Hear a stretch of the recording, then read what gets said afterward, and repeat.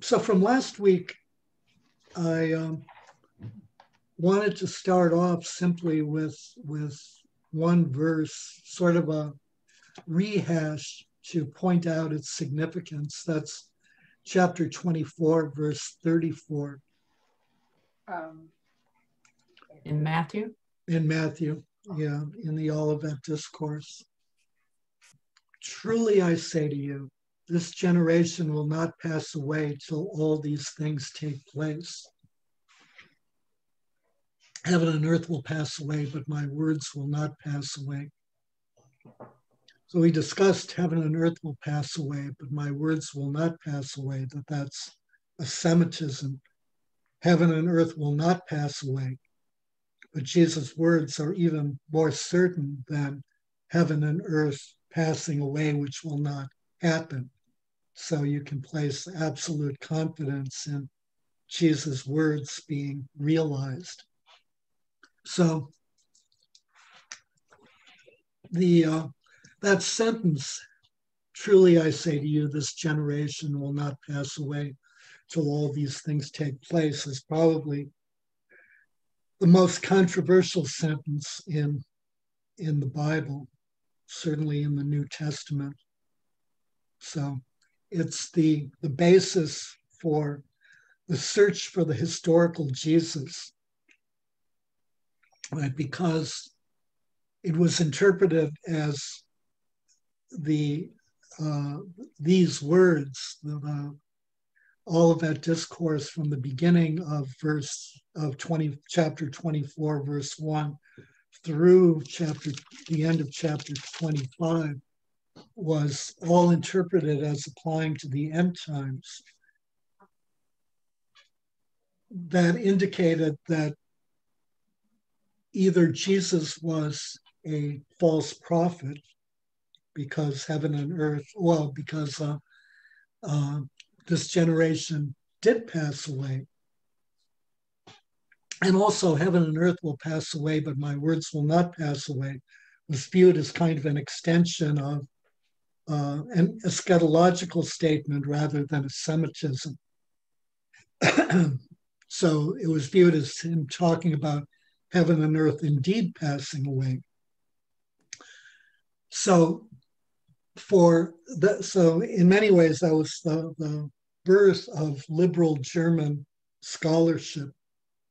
Liberal German, liberal not meaning politically liberal, since in fact one of the liberal German scholars was about to be tried for crimes against humanity at Nuremberg, but he died before the trial began. But it means a you know re-evaluation of the gospel and a separation of what the historical Jesus said from what the gospel says. So that's a major, major uh, tendency among particularly Lutheran scholars, uh, but, but their methodology has also kind of affected almost all other non evangelical scholars. So it's all based on a misunderstanding of what Jesus is saying. This generate, or it's based on a, a misunder, misinterpretation of the Olivet Discourse they're interpreting it as entirely applying to the second coming when in fact the first half doesn't. And then for our uh, evangelical and premillennial dispensationalist brethren, there's um, a view that, I mean, there are two views. One, that there's a suspension of time involved and that the important thing is in verse 32 from the fig tree learn its lessons. As soon as the branch becomes tender and puts forth its leaves you know that summer is near. So also when you see all these things so do you know what the fig tree is means symbolizes? Well actually nobody it, it's you it's silly. It symbolizes the recreation of the Jewish state in 1947 in premillennial dispensationalist, you know, interpretation, which is, you know, totally unfounded. That that the fig tree is just a simple analogy. It has no, you know, profound meaning in this instance. So the the most so I mean th- this verse has you know provoked profound misinterpretation and really in many ways a profound attack on the faith uh, because it's a denial of the obvious that indeed this generation did not pass away before all those things took place. And I, I also forgot to mention last week that according to church tradition, when the temple in Jerusalem fell, uh, and when you know there's a massacre in in Jerusalem as the Romans invaded the city and, and razed the temple, that there were no Christians killed. There were no Christians in Jerusalem during the siege. They had all escaped to Pella, according to Eusebius, because they had recognized Jesus' warning. Interesting. Do we need to read the remainder of the Olivet Discourse? Has everyone read it? Yeah. Well, you could read it if you want, but I've read it.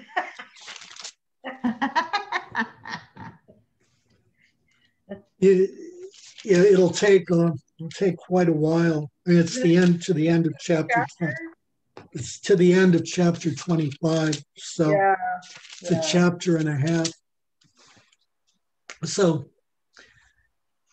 so it starts with, but of that day and hour, no one knows, not even the angels of heaven, nor the Son, but the Father only. So we had started by saying that the disciples asked two questions and Jesus answers them in order. The first is um, What will be the sign? mhm. When will this be?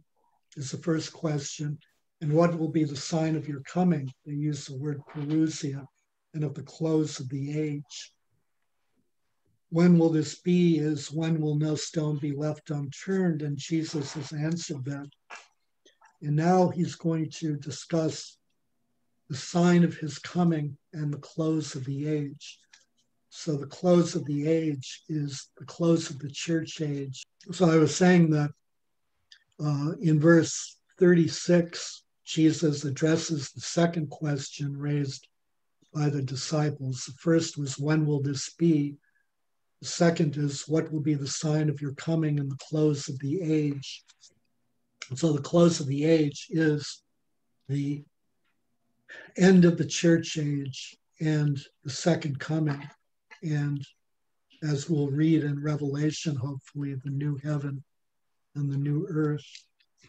So he says, But of that day and hour, no one knows, not even the angels of heaven nor the Son, but the Father only. So he's saying that when the disciples ask, What will be the sign of your coming? He says that there will be no sign of his coming. And then he talks about its unexpectedness. For some reason, our separated brethren here see it as being about stealth. But it's not about stealth, it's about unexpected. People were eating and drinking, marrying and, and, and giving in marriage, and suddenly the end has come. They're unprepared. They didn't know, very much like during the Noah and the flood. So he says, Watch therefore, for you do not know on what day your Lord is coming. But know this that if the householder had known in what part of the night the thief was coming, he would have watched and would not let have let his house be broken into. Therefore, you also must be ready, for the Son of Man is coming at an hour you do not expect. So the message here is to be prepared. So then the question becomes what do you need to do to be prepared? So Jesus tells a number of parables to sort of illustrate that. The first is the wise and the faithful servant. The first, the, the, this can be you know the same servant who behaves in two different ways. This can be a good servant and a bad servant. It, it really doesn't matter. But the first servant, the wicked servant, decides his master is delayed, and so he beats and oppresses the fellow slaves. He eats and drinks and gets drunk. And he basically takes advantage of the master's absence. So implicitly, had he known when the master is coming, he would have then cleaned up his act. But he doesn't know. So the message here is to always be prepared, to not assume that you can let things lapse and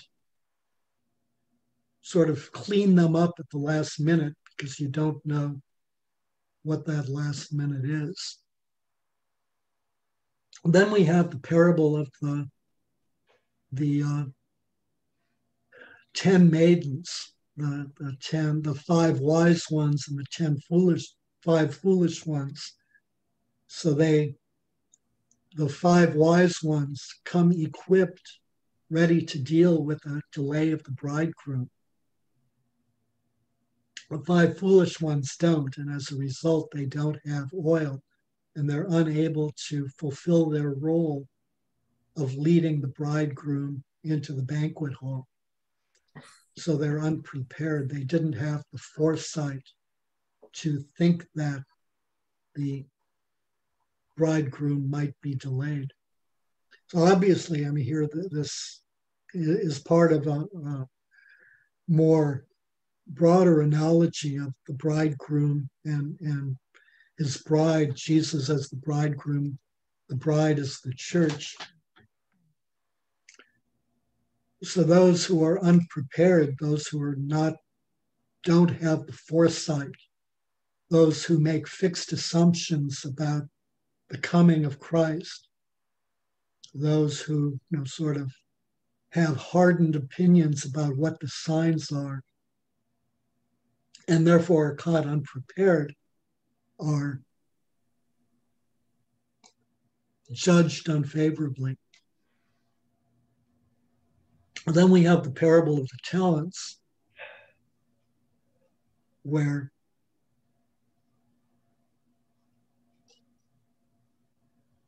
three servants are given given talents one five, one two, and one one and the one with the one dug it in the ground.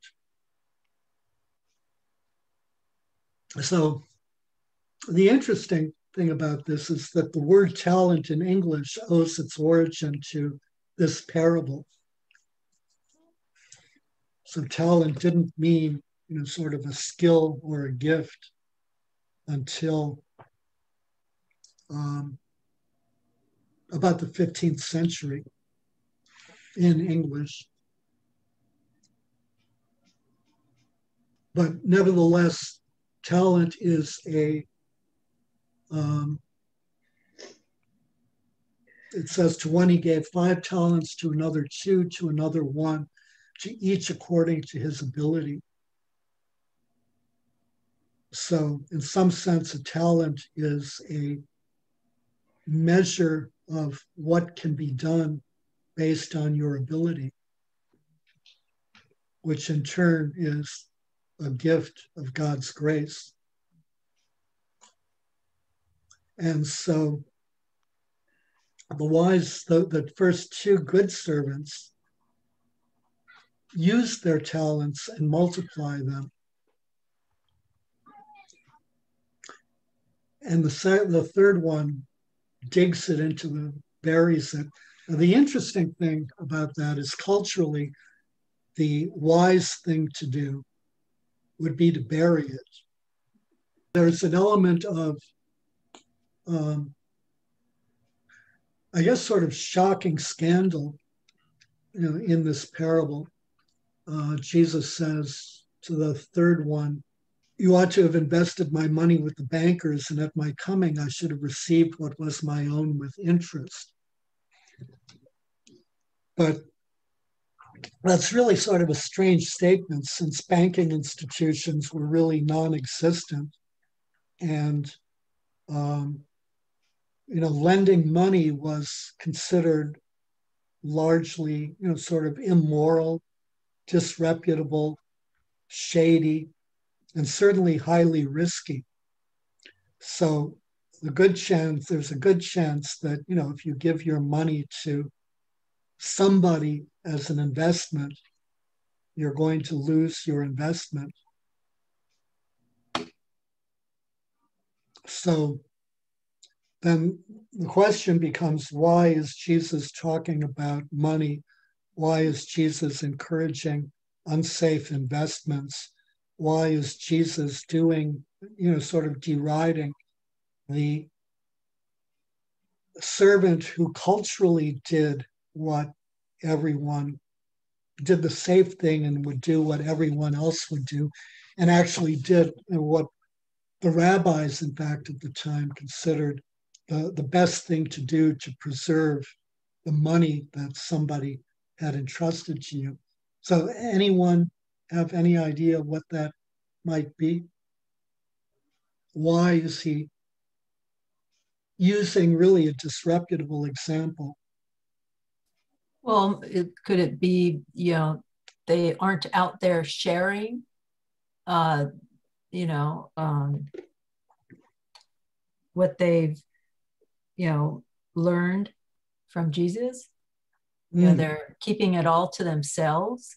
Right, right. It's being buried in the ground and not used or displayed. And, and it's also safe part of the point here is that the first two took a risk. Right. The second they, one wanted to stay safe. The third one wanted to stay safe. Right. So they, the first two took a risk. It, yeah. it in this case, it paid off, and they were, you know, they multiplied the the master's talents double.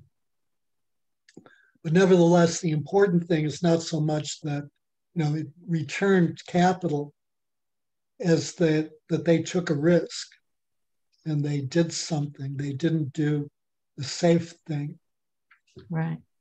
So, you know, in some sense, I mean, it, we can look at it as, it as kind of a continuation of of Jesus' uh, you know critique of Judaism that you know you sort of observe the ritual, you right do the stuff that's required. You know, you pray, you, although you pray, although as he argues, you're not really praying, you're speaking to be seen in the presence of others. And you're not really giving, all, although you're giving alms, your motive is your own glorification, not service right. of human need. And you're fasting not for spiritual reasons, but to enhance your reputation. And so, you know, you practice safe religion, and safe religion leads to condemnation. So, the message here is that being prepared requires stepping out of one's comfort zone, it requires taking a risk and it requires not practicing safe Christianity in our case. Unfortunately, many of us do practice safe Christianity. And the, the implication there is that when Christ comes, we're not ready. Then comes the separation of sheep from the goats. then we have, then the king will say to those at his right hand, Come, O blessed of my father. This is um, verse 34. Mm-hmm. Then the king will say to those at his right hand, Come, O blessed of my father. Inherit the kingdom prepared for you from the foundation of the world. For I was hungry, and you gave me food. I was thirsty, and you gave me drink. I was a stranger, and you welcomed me. I was naked, and you clothed me. I was sick, and you visited me. I was in prison, and you came to me. Then the righteous will answer him, Lord, when did we see you hungry and feed you, or thirsty and give you drink? And when did we see you a stranger and welcome you, or naked and clothe you? And when did we see you sick or in prison and visit you? And the king will answer them, Truly I say to you, as you did it to one of the least of these, my brethren, you did it to me. Then he will say to those at his left hand, Depart from me, you cursed, into the eternal fire prepared for the devil and his angels. For I was hungry and you gave me no food. I was thirsty and you gave me no drink. I was a stranger and you did not welcome me. Naked and you did not clothe me. Sick and in prison and you did not visit me. Then they will also answer, Lord, when did we see you hungry or thirsty or a stranger or naked or sick or in prison and did not minister to you? Then he will answer them, Truly I say to you, as you did it not to one of the least of these, you did it not to me. They will go away into eternal punishment, but the righteous into eternal life. Then that tells us the criteria involved in being prepared along with the parable of the talents. We have to take risks. And what is that risk? You have to treat everybody, you know, with love as if they were Jesus. Right. Or You God, have to you know, Right. in the, yeah. You have to see the face of Jesus in everybody. Right. And that's what you need to do to be prepared. Yeah. Which in turn goes back to the last parable. That's really taking a risk. Mhm. and and that doesn't come naturally or easily for us but we have to see the face of jesus in everybody including those who we don't like those who we hate Mhm. those who we can't stand nevertheless everyone bears the divine image Right. So, are there any questions about this? About the Olivet discourse? This was really a rapid and um, sort of hasty overview. Well, it sounds just more of um, the fact that many of the uh, evangelistic type Christians seem to not want to accept anything that is too difficult for them which is similar to not accepting the papacy, not accepting any authority It's gonna going to keep them from being able to interpret everything their way. Mm-hmm. You know, also going back to truly, I say to you, this generation will not pass away till all these things take place. Right. You know, for the for the um, liberal German school, they at least understand the um, this generation to be literal. And you know so they conclude that these things have not taken place. And so they decide that jesus didn't really prophesy in the olivet discourse that this was an addition of matthew or the gospel writers and you know reflected an, an, an expectation of the second coming And so, therefore, we had to return to, or we had to um, demythologize the, the gospel, as, as Bultmann called it. Um, so, you know, however problematic, so in some sense, that means that, you know, the implication of that is that Jesus was a moral and ethical philosopher, Hmm. but nothing more. You know, he was a guy who, he was a Jewish holy man who happened to you know, sort of found a religion. So, you know, a good guy. Hmm. Can't go wrong with Jesus. So, you know, that's that's problematic, but at least it, you know, kind of starts off, at least it recognizes the obvious meaning of this generation. The rest of the conclusions are problematic, but at least they recognize the, the validity, of the, they recognize the meaning of the first two words, and that has to be worth something. but then we get to our separated brethren, and this generation will not pass away. And so this generation becomes something else. I mean, Jesus is talking here to people gathered around him. This is, he's talking to his disciples. This is, you know, his discourse. And it's important, it's an important discourse because this is his last teaching before he dies. And this is his teaching about eschatology.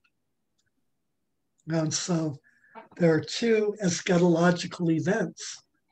The first eschatological event is going to be his death, his resurrection, and his vindication. Clearly, the breaking in of God into human history in a very forceful and novel way. And then the second event will be the second coming. And it's especially important to teach, well, about both, but it's especially important to teach about the first, as we discussed last time, because if the church, if, if Jewish Christians remain in Jerusalem, the church may well be destroyed. So it's very important that Christians in Jerusalem recognize the signs and get out in time. And that's why Jesus says to leave nothing behind and flee. And pray that if you're a woman, you're not pregnant. Or pray that it's not the Sabbath, because on the Sabbath, the gates are locked. Very difficult to get out of Jerusalem on the Sabbath. So the warning is really to emphasize the urgency. Once the signs appear, once you see the Roman legions surrounding Jerusalem, it is time to get out. And you may not have, you may just have a short window of, opp- of opportunity, and the likelihood is that you will perish. So that's important. And it's prophetic. You know, this happened probably in around 60.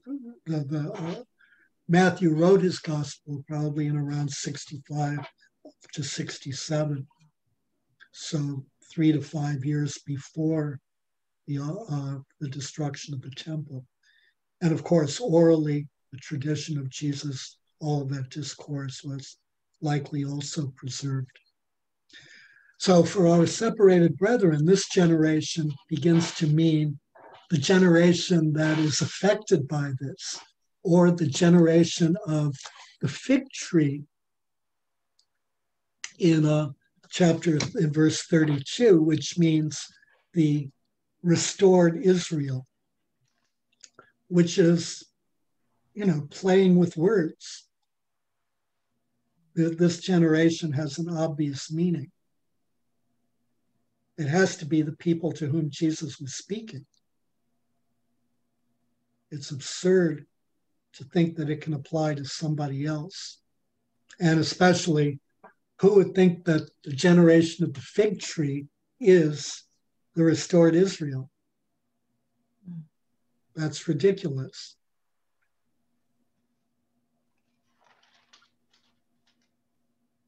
So, so this is really very, the Olivet discourse is really very, very important. It's important to recognize that it is fulfilled prophecy in the first half. And it is a statement that there will be no signs. So if we're looking for signs, we're wasting our time. If we're looking for signs, we're almost, we're implicitly admitting that we're unprepared. Right. Because we should need no sign. We should simply be prepared. And how are you prepared?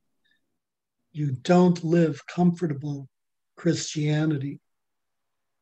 You take risks, and you re- and you take risks by recognizing that all humankind, every individual, bears the divine image. Every individual has the face of Jesus. So the way you treat anybody is the way that you treat Jesus. Yeah. And you'll be judged accordingly. So that's what being prepared means. It doesn't mean I let Jesus into my heart and now I'm saved. Yeah. That's only a fiction. It was the first month I was teaching in, in at Holy Rosary that um, the superintendent of the Catholic schools was a nun, mm-hmm. Sister Joyce Cox. She came into the school and came into my classroom, and I don't remember the question she asked the students. You know what what the phrasing of the question was, but the answer was, you know, all you need to know is love God, love others, serve God, serve others. Mm-hmm. And, I, and it just it is framed. That was just the big picture for, you know, the 13 years I was there teaching second grade because you can use that all through. You know, mm-hmm. love God, you love others. Right. Serve, God, serve right. others. I just kind of got the hand signal too, and they would repeat it: love God, love others, serve God, serve others. Mm-hmm. Take it just through not just religion, but certainly that was just the big umbrella. Mm-hmm. That was the biggest gift. Of course, I was, of course, sweating, thinking, "Oh my gosh, is anybody gonna be able to answer what she's asking?" But you know, she just said it, and she was just so kind, and it was so. Yeah, that's a good summary. Still, but still, for any of us, love yeah. God, love others, serve yeah. God, serve others. That that works. That's a really That's good active, summary. not passive. Yeah. Yeah, actually, you know, in a lot of ways, let the phrase "let Jesus into your heart" is not incorrect if we understand it as uh, Jesus would have understood it, which we don't. I mean, Yeah. letting Jesus Right. into your heart is sentimental thing. You know, I Yeah. like Jesus, right. but it's really a call for But- action. Yeah. but one's heart in the in in in Jewish culture was both the seat of emotion, but also it represented the totality of who you are. Right. So if you let Jesus into your heart, it means that Jesus subsumes you and becomes the totality of who you are. Which means, in turn, that as you go about the world, you behave like Jesus, you imitate Christ. And that means, in turn, that you see the divine image in everybody.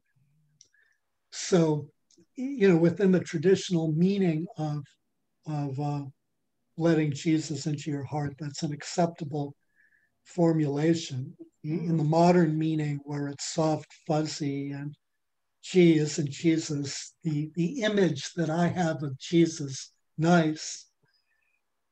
It's not acceptable. It's, you know, it's really soft, fuzzy, and misguided. Uh, Uh, it's very much the same as as believe, which you know, has become subjective. It used to mean I subscribe I ascribe to an external truth. Now it means I'm of the opinion that. But there are no this this isn't about opinions. Opinions are of no relevance whatsoever. Only truth is of relevance. Let, let's look at Revelation. You can start at verse 7. So, the book of Revelation is also written roughly in the same time frame as Matthew's gospel. It's written uh, probably sometime around 67 to 70. It's written before the destruction of the temple. And um, it's a prophecy that John had. And there's a lot of, you know, there are varying, varying interpretations, a good deal of disagreements. So, you know, what you're getting is um, my take on the matter. Um, so there's an argument that the author was not John, the disciple, was some guy named John. Um, mm. For a variety of reasons, I don't accept that.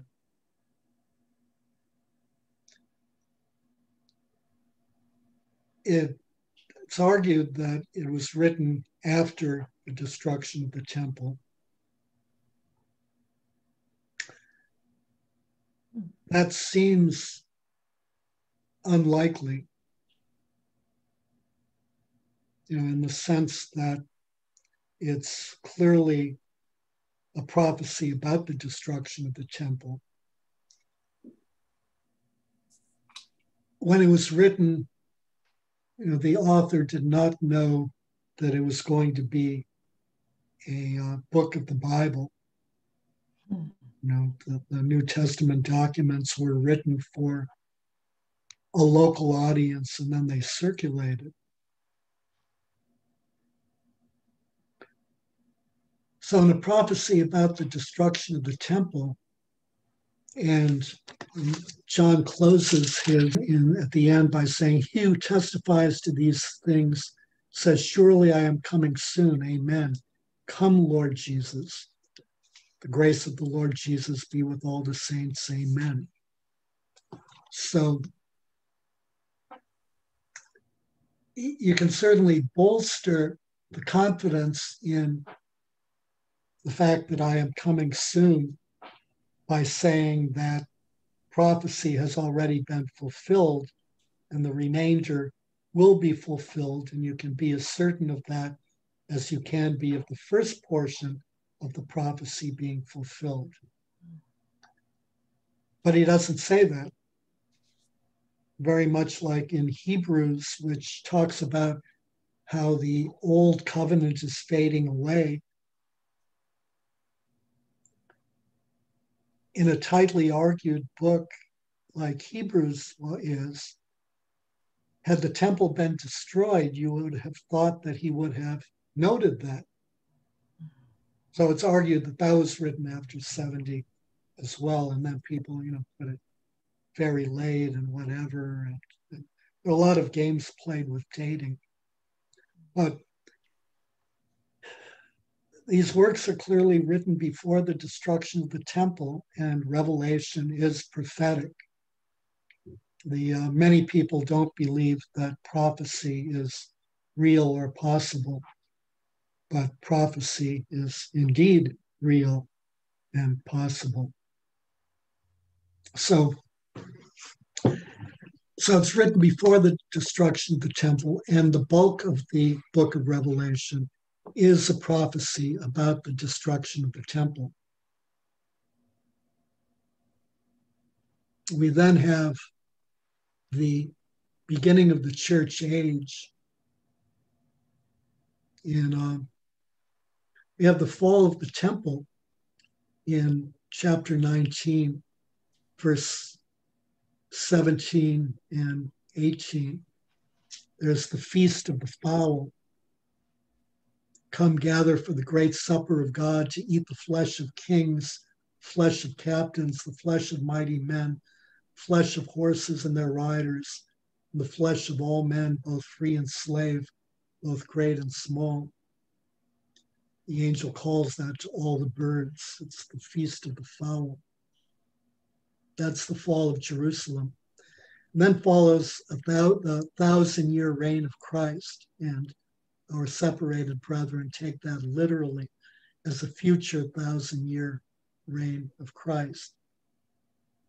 In the church that is the Catholic Church, and in the pre Reformation traditions, that's considered, uh, well, in the Catholic Church particularly, that's considered heretical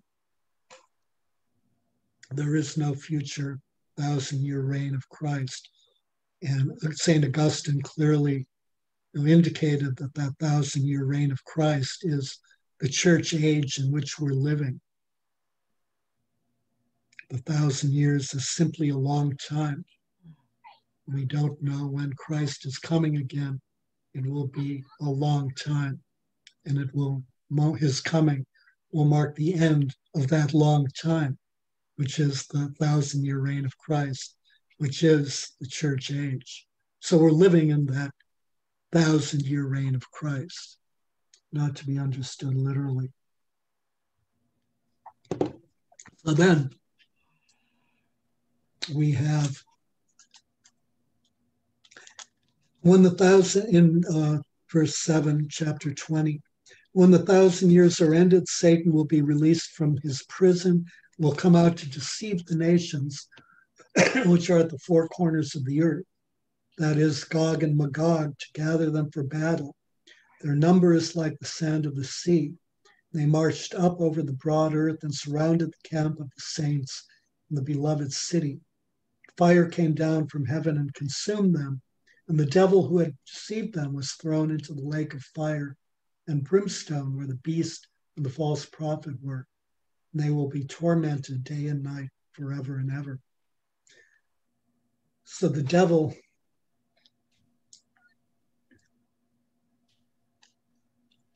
is thrown into the lake of fire along with the beast and the false prophet. So then I saw a great white throne and him who sat upon it. From his presence, earth and sky fled away, and no place was found for them. And I saw the dead, great and small, standing before the throne, and books were opened. Also, another book was opened, which is the book of life. And the dead were judged by what was written in the books, by what they had done. And the sea gave up the dead in it. Death and Hades gave up the dead in them. And all were judged by what they had done. Then death and Hades were thrown into the lake of fire. This is the second death, the lake of fire. And if anyone's name was not found written in the book of life, he was thrown into the lake of fire. So this is the final judgment. And then we have what follows the final judgment. Then I saw a new heaven and a new earth, for the first heaven and the first earth had passed away, and the sea was no more. And I saw the holy city, New Jerusalem coming down out of heaven from God, prepared as a bride adorned for her husband. So notice the bride and the bridegroom. And I heard a great voice from the throne saying, Behold, the dwelling of God is with men. He will dwell with them, and they shall be his people, and God himself will be with them. He will wipe away every tear from, from their eyes, and death shall be no more neither shall there be mourning, nor crying, nor pain anymore, for the former things have passed away.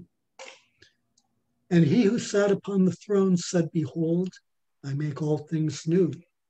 Also, he said, Write this, for these words are trustworthy and true. And he said to me, It is done. I am the Alpha and the Omega, the beginning and the end. To the thirsty, I will give water without price from the fountain of the water of life. He who conquers shall have this heritage, and I will be his God, and he shall be my son. But as for the cowardly, the faithless, the polluted, as for murderers, fornicators, sorcerers, idolaters, and all liars, their lot shall be in the lake burns with fire and brimstone, which is the second death. Then came one of the, the seven angels who had the seven bowls full of the seven last, last plagues and spoke to me, saying, Come, I will show you the bride, the wife of the Lamb. And in the Spirit, he carried me away to a great high mountain and showed me the holy city, Jerusalem, coming down out of heaven from God, having the glory of God, its radiance like a most rare jewel, like a jasper, clear as crystal. It had a great high wall with 12 gates, and at the gates, 12 angels, and on the gates, the name of the 12 tribes of the sons of Israel were inscribed. And on the east, three gates, on the north, three gates, on the south, three gates, on the west, three gates, 12 gates for the apostles, the 12 disciples. The wall of the city had 12 foundations, and on them, the 12 names of the 12 apostles of the Lamb. Let's jump to beginning of chapter 22.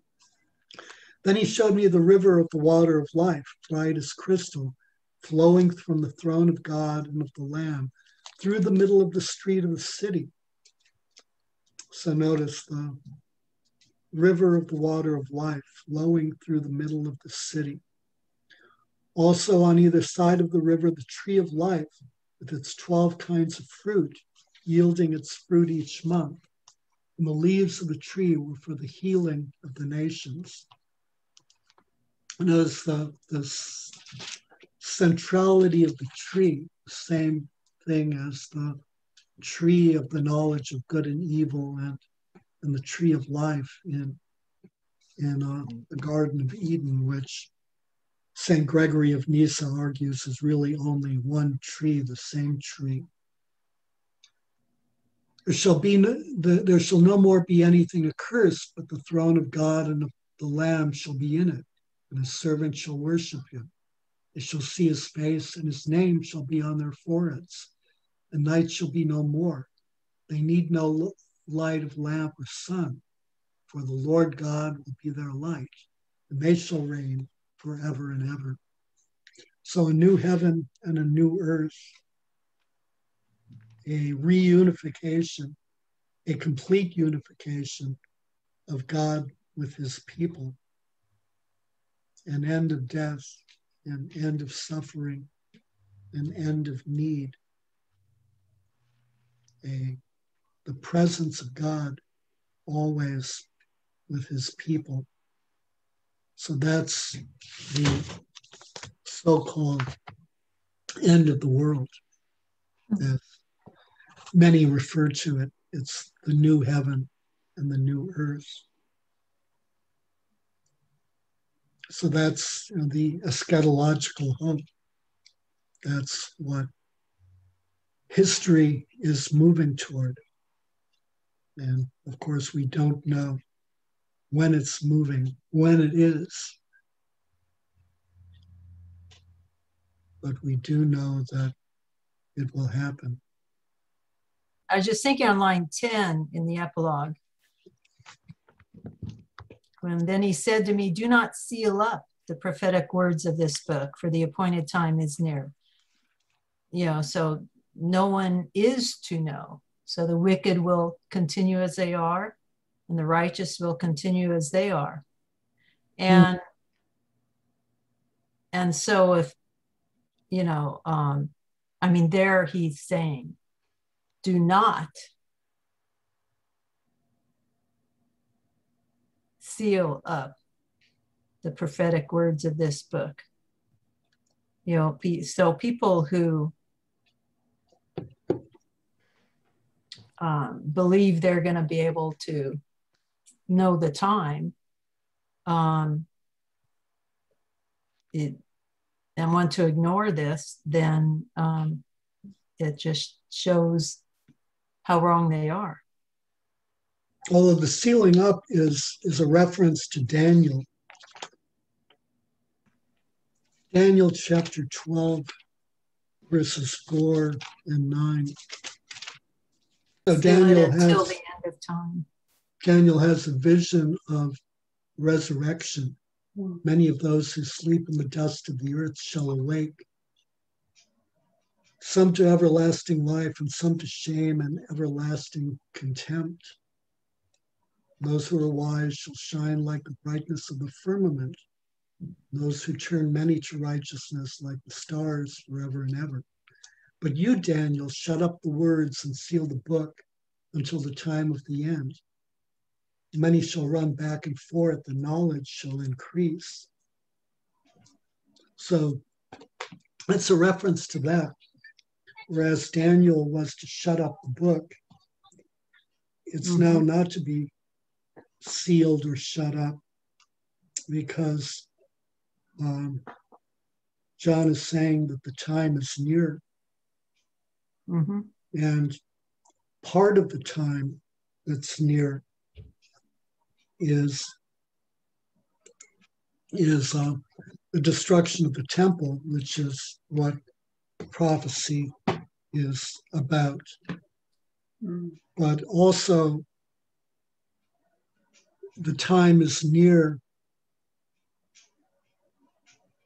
also means that we should always live our lives as if the time is near. We should always be prepared for the time coming. In fact, we should be prepared for the time com- coming so that it doesn't make any difference whether the time comes or not.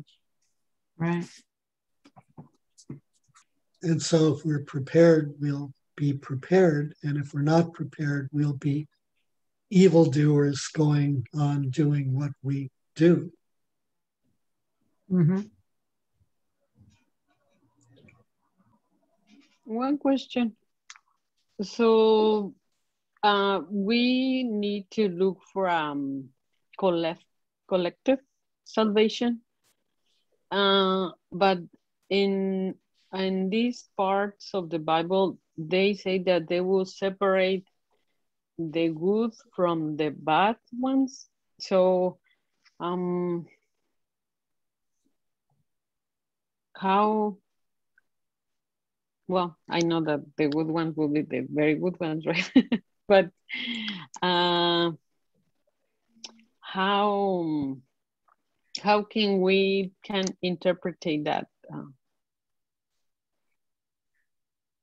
um, remember the the parable of the weeds and the tares that you know where the um, householder plants his crops and then an enemy comes and sows weeds and so the servants want to pull up the weeds but but he says the householder says you know no you'll destroy the uh, the, the wheat. If you do that, let them grow together and we'll separate them at the time of the harvest. Um, so the, the, the typical, the most common interpretation is that within the church will be mixed both you know, the good and the evil, that you know, they'll all be together during the church age in the church as an institution that they you know are not easily separated and can't be separated until the end of time. So um,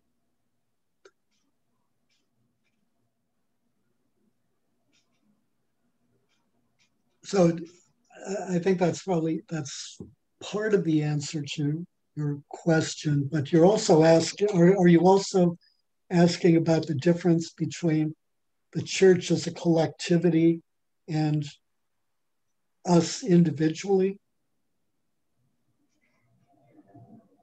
Yeah, that we need to we need we need to look for a um, a collectivity, a salvation, but in collectivity.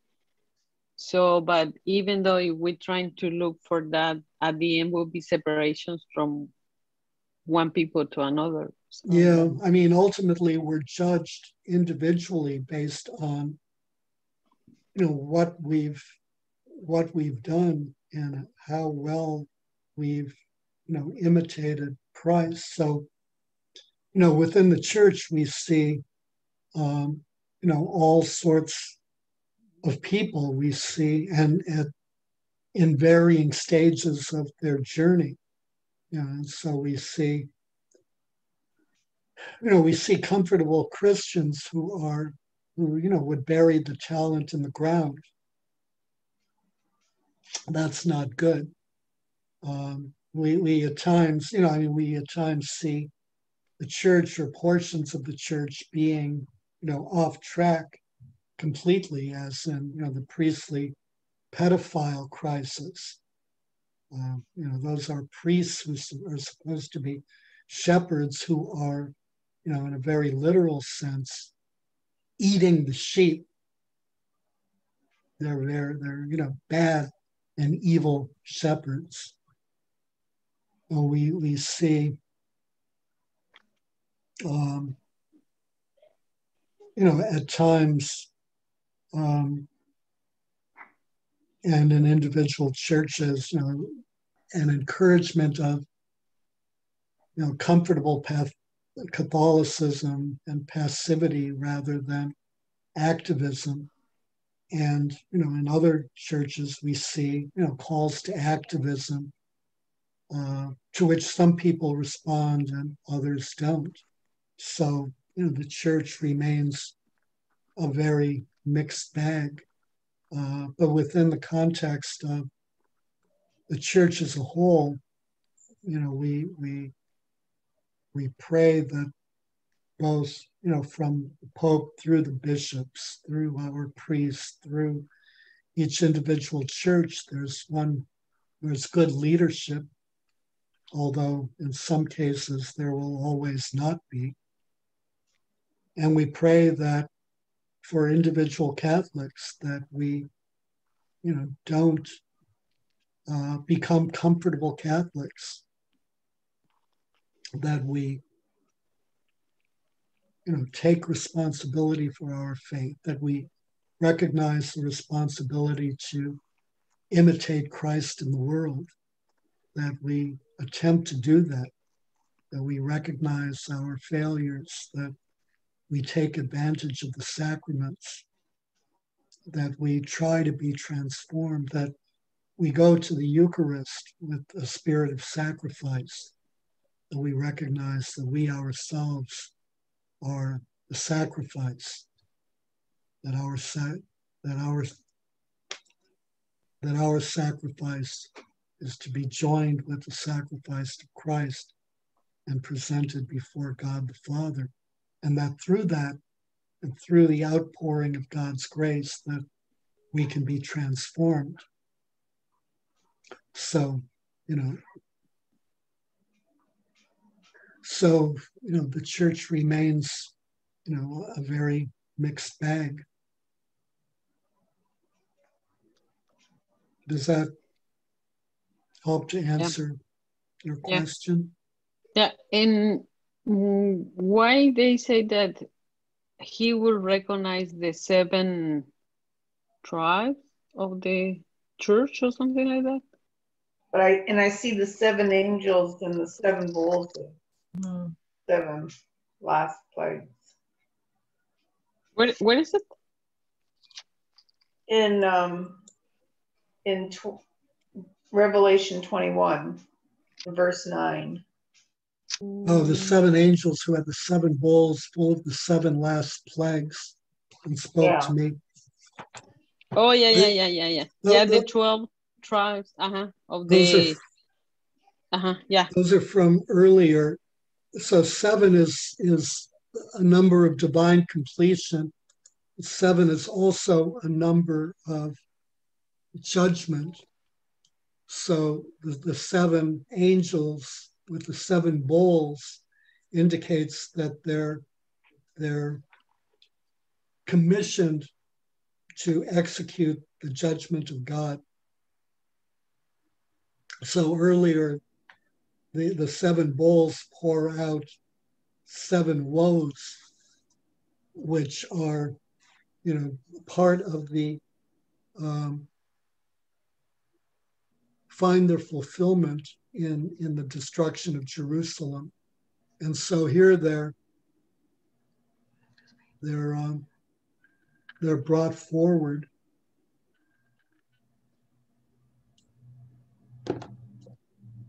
into the new heaven and the new earth. So where nothing unclean shall enter, nor anyone who practices abomination, etc. So the 12 tribes and the 12 apostles, that, that, that 12 indicates that here we have a continuity or in some sense the climax of salvation history through the 12 tribes of the Israelites and through the 12 apostles and through the church age. And now that has produced the end, which is a climax of what has gone before it. Next, we'll do have a week on premillennial dispensationalist theology. Um, I think it's a sort of important thing to do since underlying the rapture docu- doctrine, underlying um, all of this, you know, crazy theology or crazy Bible interpretation is a, a really flawed theology, and and it's important, and, and a theology that is only about a century and a half old that was an invention of some guy named John Nelson Darby, who most evangelicals have never heard of. So, in some sense, you know, if we read Paul, he talks about the unknown God who he identifies as God the Father. Here we have an unknown God for our hmm. evangelical brethren, whose name is John Nelson Darby. And, you know, his teaching is adhered to with um, greater seriousness than that of Christ. In fact, has to be adhered to with greater seriousness than that of Christ because he marginalizes Christ. It's really Paul who is important, and Christ is, Jesus is secondary. and so most of his, much of his teaching is completely at variance with um, anything that has come before it. It's, um, you know, even Calvin would have turned over in his grave. So it's hopefully we'll just spend a week on it, but and and hopefully can at least there's one video to watch. There may be I'll send out the readings or watchings after class. So you know, do what you can, and we'll try to get through it in a week. But but I think it's an important thing to at least to at least be aware of, and, and then we'll we'll have concluded our our study of eschatology very quickly, but uh, and then we can move on